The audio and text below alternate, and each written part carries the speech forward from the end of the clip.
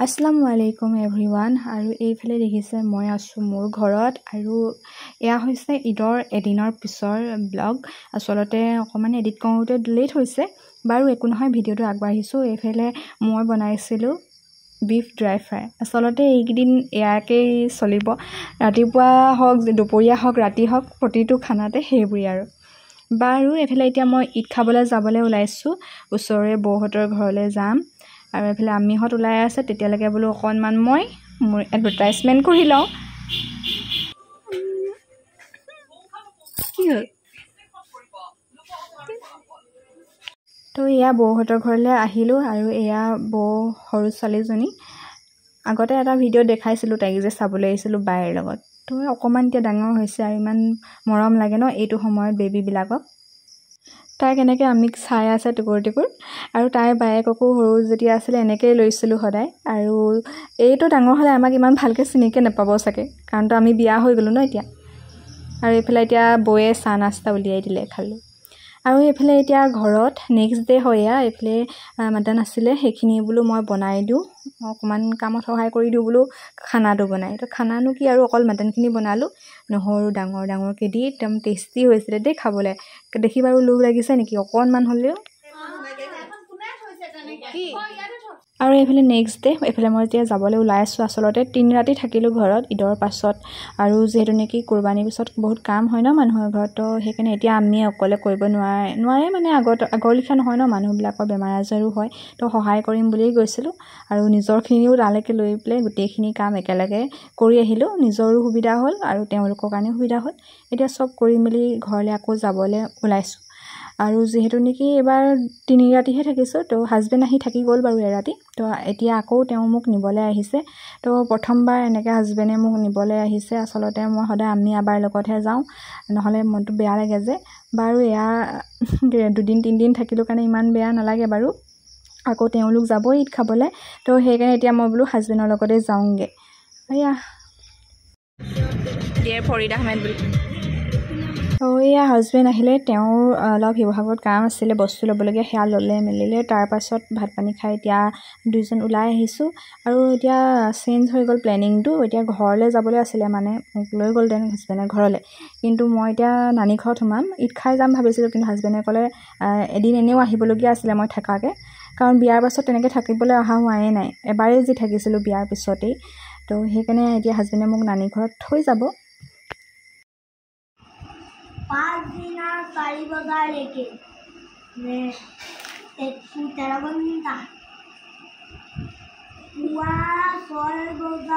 এইফালে এতিয়া নানী ঘৰত আহি হ'ল বাৰু অলপ দেৰি কাপোৰহে খোলা নাই আচলতে মই। আৰু এইফালে পূৰা বায়েকৰ ৰূপ ধাৰণ কৰি ল'লোঁ পৰীক্ষা চলি আছে তেহঁতৰ গতিকে মই গ'লেনো এতিয়া ক'তনো পঢ়িব? গতিকে ময়ে ৰূপটো ল'ব লাগিব তেতিয়াহে পঢ়িব। সেইকাৰণে এচাৰি লৈ পেলাই বহি গৈছোঁ পঢ়াৰ জেগাত। আৰু আগতে কয় এচাৰি আগতহে হেনো শিক্ষা। আজিকালিতো এচাৰি ল'লে চেচেই আৰু। কিন্তু ঘৰৰ মানুহেতো ল'বই লাগে ল'ব নল'লেতো নিজৰ বিপদ হ'ব ভৱিষ্যতলৈ।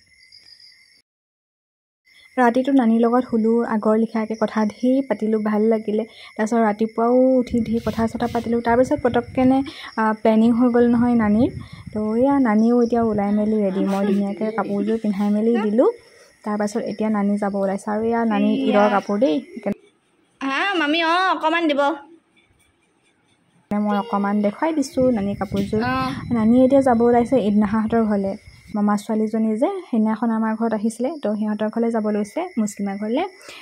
তো এয়া অকণমান বোলো নানীক ভিডিঅ' কৰি দেখাই লওঁ।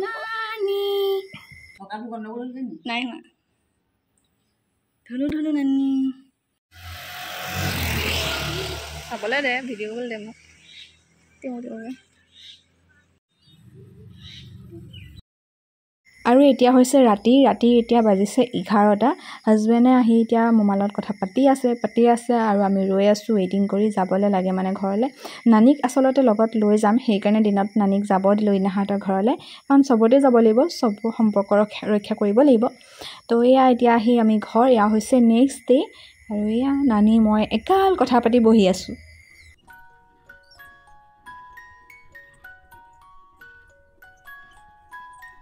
যিহেতু নেকি এতিয়া ঈদৰ ছিজন তো ঈদ খাবলৈতো চবেই চবৰ ঘৰলৈ যাবই লাগে বিশেষকৈ নিজৰ আপোন পৰিয়াল নিজৰ মা আবাহঁততো মেইন আৰু এইফালে আমিহঁতক ঈদৰ কাৰণে আহিবলৈ কৈছিলোঁ যিহেতু কি আমিহঁত আহিবই সেইকাৰণে মই তেওঁলোকৰ লগত অহা নাছিলোঁ। দুদিন ৰৈ তেওঁলোক আহিলে। তো সেয়া নানী আমিহঁত আহিলে আমি আৰু নানীক পূৰা কামত লগাই দিছোঁ। এইফালে আমি নানীয়ে আম কটাত লাগিছে আমখিনি ভাগে ভাগে কাটি মেলি দিলে। এইফালে আমিয়ে চব্জি তব্জি কাটিছে ভাত পানী বনোৱাত লগাই দিছোঁ পূৰা আৰু মোৰ ৰেষ্ট। মাক জীয়েকক পূৰা কামত লগাই দিছোঁ মুঠতে।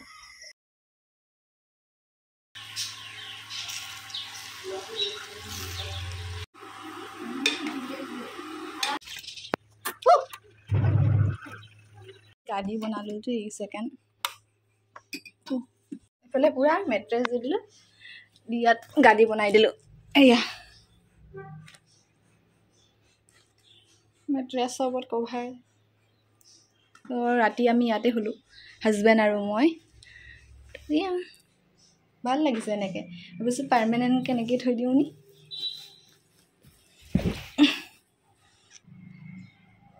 মই এইফালে গডৰেজটো ইয়ালৈ লৈ আহিলোঁ। ৰুমত লৈ আহিলোঁ যিহেতু নেকি পিছত এইটো এতিয়া চিফ্ট কৰা হ'ব। তো এতিয়া পাওঁতে লৈ আহিছোঁ বোলো গডৰেজটো অৱস্থা নাই। আৰু পটকৈ কেমেৰাত ওলাব নোৱাৰোঁ কাৰণ হিজাপ চিজাপ ল'ব লাগে। এনেই নৰ্মেলি ঘৰত কোনো নাথাকিলে তো এনেকৈ থকা হয় ন? তো সেয়া এইফালে পূৰা হাজবেণ্ডৰ টি চাৰ্ট পিন্ধি আছোঁ ইগনৰিত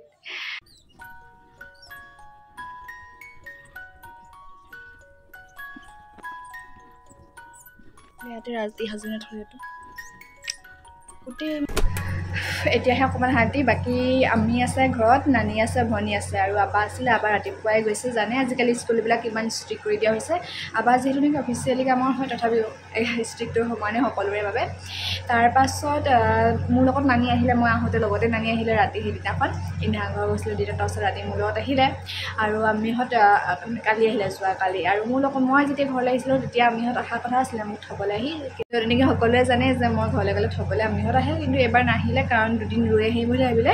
আৰু মই দুদিন থকাকৈহে গৈছিলোঁ সেইকাৰণে আৰু ইমান এফেক্ট নহয় গাত।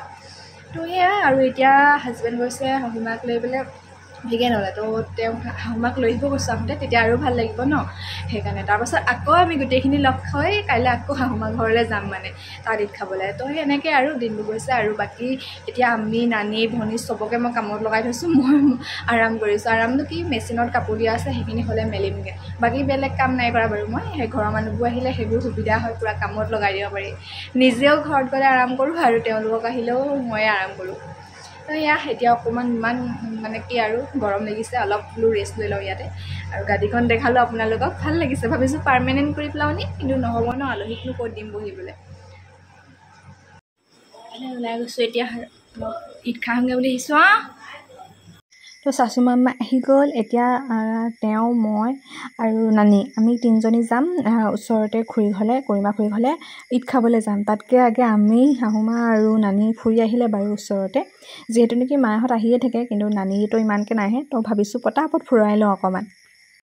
এইফালে হাতত এটা এটা ফূৰ্তি লৈ আমি আটাইখিনি ওলাই গৈছোঁ এতিয়া আমাৰ মেইন ঘৰখনলৈ বুলি তাত ঈদ খাবলৈ যাব লাগিব আমিহঁত আৰু তাত নাখালেনো কেনেকৈ হ'ব? ইয়াত এতিয়া হাজবেণ্ডে নিজাববীয়াকৈ ঘৰ এখন বনালে বুলিহে।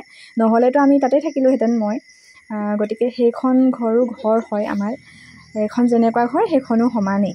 গতিকে এতিয়া তাত গৈছোঁ আমিহঁতক তাতো ঈদ খুৱাই আহোঁগৈ বুলি। আহ, আগদিনাখনেই মাইক লৈ আহিলোঁ কাৰণ তেতিয়া ভাল লাগিব। কথা বতৰা পাতি গোটেইখিনি একেলগে থাকি ভাল লাগে দুই এৰাতি তেনেকৈ পাৰ কৰিলে ভাল লাগে। আৰু এইফালে আমি কিবা কিবি নাস্তা লৈ ল'লে লৈ পেলাই এতিয়া আমি আকৌ যাবলৈ লৈছোঁ। আনকালে আহিলেও বাৰু এনেকৈ প্ৰায়ে সোমাই মেলি যোৱাই হয়েই কিন্তু নানী আহিছে যিহেতু নেকি এবাৰ মিছ কৰিব কেতিয়াও নোৱাৰি আৰু তাৰোপৰি ঈদ। নানীক লৈ আহিছোঁ আমাৰ পুৰণা ঘৰলৈ। এইজনী নানীক আমাৰ পুৰণা ঘৰত লৈ আহিছোঁ। তেওঁ আপুনি হেৰিতে আহিছিলে চাগে। তেতিয়াই অহা।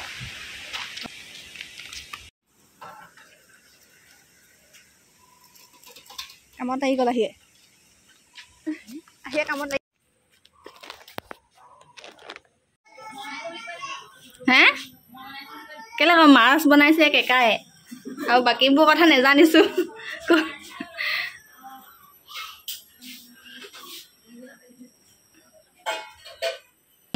তোৰ তলটোহে দেখাইছোঁ? হা? অঁ।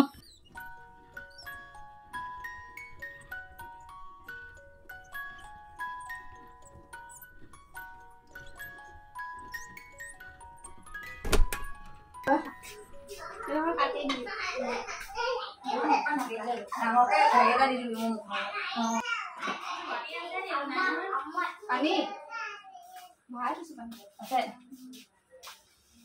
টেঙা অঁ মানুহক ৰেডি হ'ব আকৌ ভাত পাৰিলোঁ বন্ধাটো লৈ আহিব লাগিছিলে মাইকত অঁ হেৰি সিহঁতি অজু কৰিছিলা নে এই বাথৰুমত আছে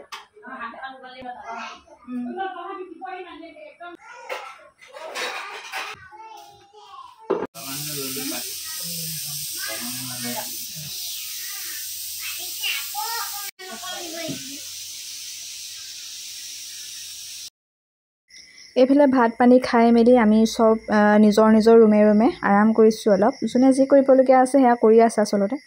আৰু এইফালে আমি চাৰিওজনী মোৰ ৰুমত এইফালে নানী আৰু ভনী শুই আছে আৰু আমিয়ে কিবা কৰিব গৈছে। তো সেয়া পানী খাই আছোঁ এতিয়া গৰম পানী নানী আৰু মই। তো এয়া আৰু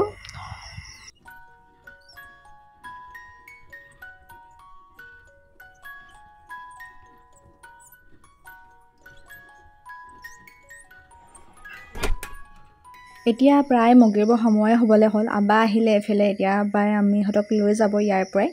ইয়াৰ পৰাই তেওঁলোক ঘৰলৈ যাবগৈ আৰু মই মোৰ ঘৰলৈ যামগৈ। তো এই আবা আহিলে ভাত ঘৰতে খাই আহিলে হেনো। তো ইয়াত আহি অকল নাস্তাহে খালে।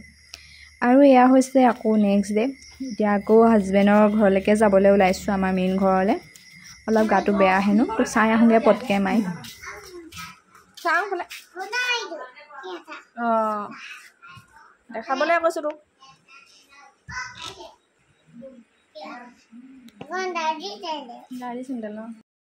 এইফালে ঘৰলৈ আহি এতিয়া বৰফ খাম। মুনুৱে বনাই থোৱা হোম মেড বৰফ। আৰু এনেকৈয়ে দি ঈদ পালন কৰিলোঁ মানে ঈদৰ সময়কণ এনেকৈয়ে আমাৰ ধুনীয়াকৈ পাৰ হৈ গ'ল।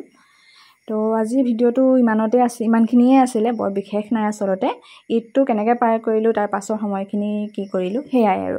মোৰ কাৰণে স্পেচিয়েল এইখিনিয়ে। নিজৰ ঘৰত এতিয়া তিনিখন নিজৰ ঘৰ তিনিখনত ধুনীয়াকৈ সময় অকণ পাৰ কৰাটোৱেই মোৰ কাৰণে স্পেচিয়েল তো সেয়া পাৰ কৰিলোঁ তাৰ পাছৰখিনি বেলেগ ভিডিঅ'ত দেখুৱাম বাৰু।